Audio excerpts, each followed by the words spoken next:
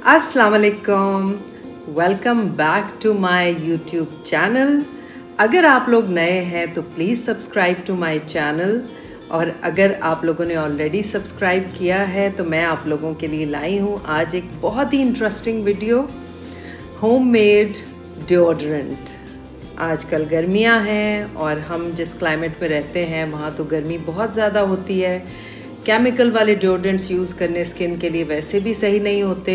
और मैं बहुत सालों से ये डिओड्रेंट यूज़ कर रही हूँ, अपने बच्चों के लिए, अपने घर वालों के लिए बनाती हूँ। तो मैंने सोचा, क्यों ना आप लोगों के साथ ये शेयर करूँ और आप लोगों के साथ मिल के ही इस दफ़ा बना लूँ। मेरा भी डिओड्रेंट ख़त्म हुआ हुआ है तो आप लोग भी अपने लिए बनाएँ।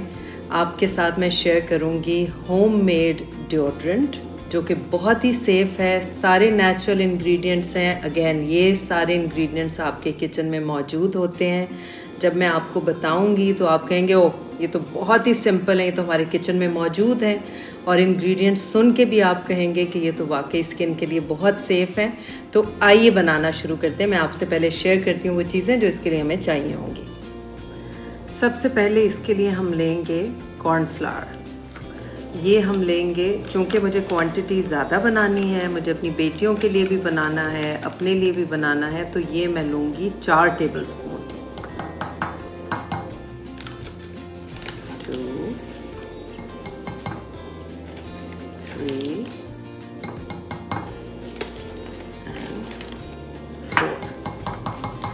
इसी तरह से दूसरा जो हमारा मेन इंग्रेडिएंट है, जिस तरह एक ड्रामे में हीरो हीरोइन होते हैं मेन इंग्रेडिएंट तो हमारा मेन इंग्रेडिएंट है बेकिंग सोडा ये भी हम फोर टेबल स्पून्स लेंगे. वन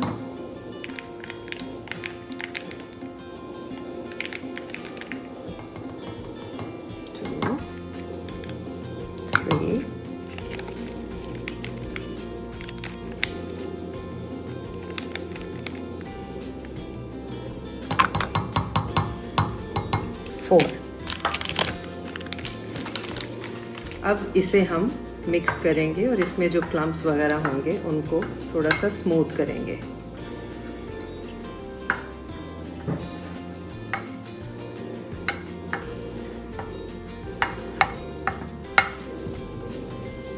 अब हम इसमें डालेंगे कोकोनट ऑयल कोकोनट ऑयल हम डालेंगे एट टेबल tablespoons.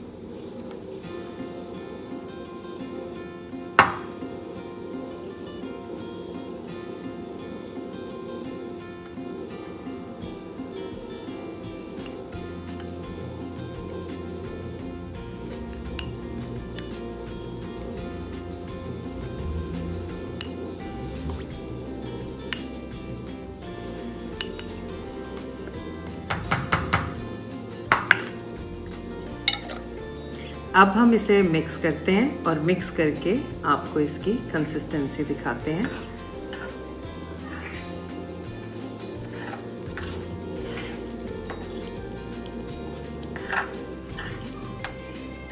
जी नाजरीन, ये हमारा होम मेड डिओड्रेंट तैयार हो गया है और इसे लगाने के बाद गारंटेड 24 से 48 घंटे तक अगर आप नहाने के बाद इसे लगाते हैं तो आपसे किसी किस्म की बॉडी स्मेल नहीं आएगी। ये गारंटेड है।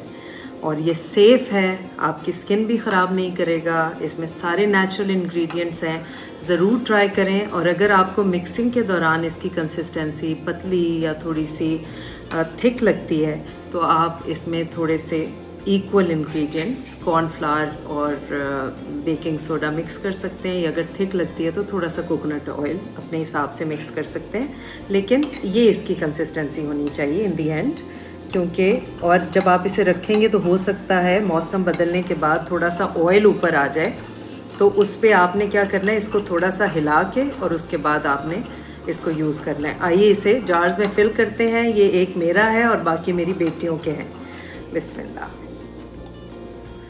ये स्टेप ऑप्शनल है चूँकि मुझे परफ्यूम्स बहुत पसंद हैं तो मैं थोड़ा सा स्प्रे इसमें कर लेती हूँ जो भी परफ्यूम मुझे पसंद हो, और उसमें मिक्स करने के बाद इसमें ऐड कर लें। या कोई नेचुरल परफ्यूम हो तो उसके एक दो ड्रॉप्स आप ऐड कर सकते हैं तो वो आप मिक्स कर लें। अगर आप इसे ऐसे भी यूज़ करें तो ये बिल्कुल नेचुरल है, आपके, आपकी बॉडी से किसी किस्म की स्मेल नहीं आएगी।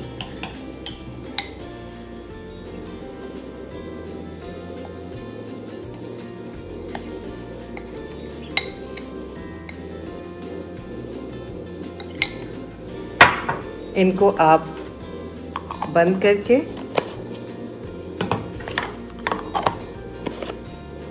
और इनके साथ ये